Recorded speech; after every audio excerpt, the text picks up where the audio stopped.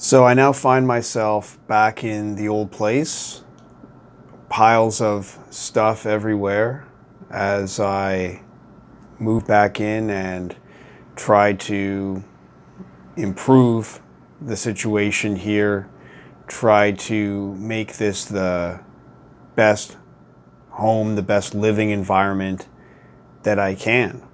And there's so many different pieces so many different things. And uh, the to do list has uh, just uh, exploded. And uh, this is even a relatively simple thing. I mean, I'm just fixing up basic things, moving in. Our to do lists can get uh, so complicated.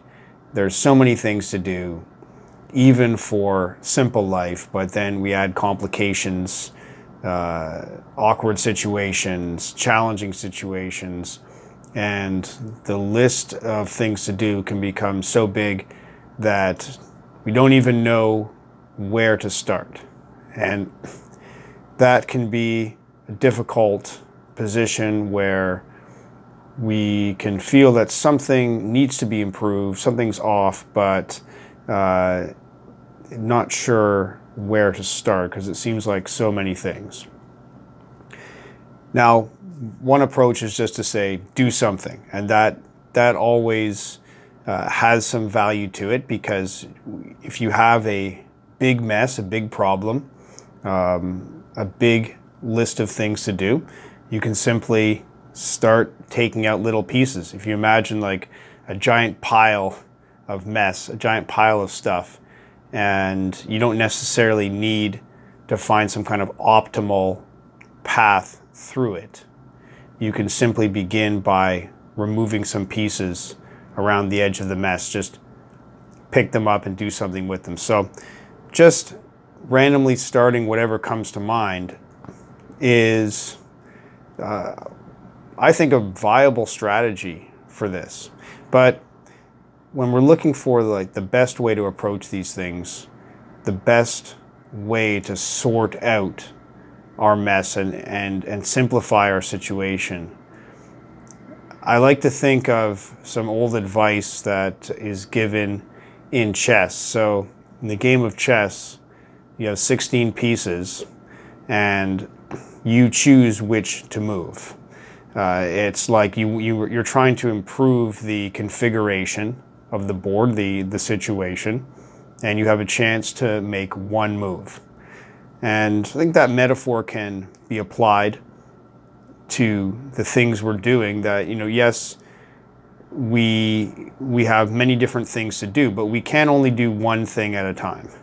Uh, and maybe the pick a random piece and just move it, that doesn't really work for chess as it might for cleaning up a mess.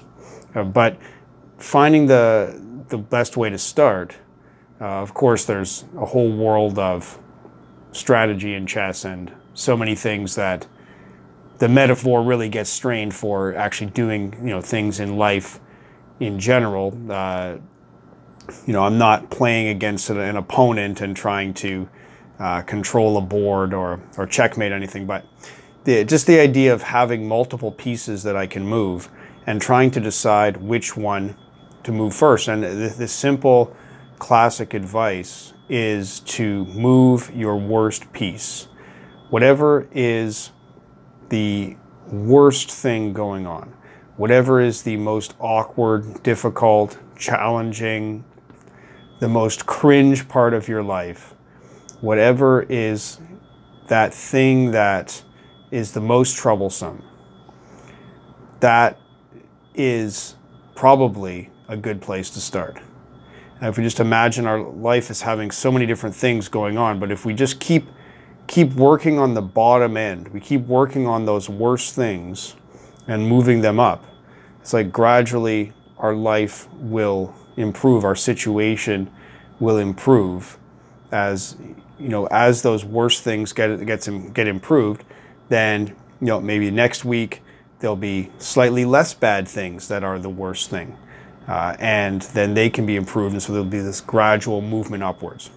And of course, new surprises can always show up, and new worse things always show up, and they have to be dealt with. But this is a simple question that we can ask to help to decide what is the priority for each day, each hour, each moment. What needs the most attention right now? Simple old message, but uh, I like to call it to mind.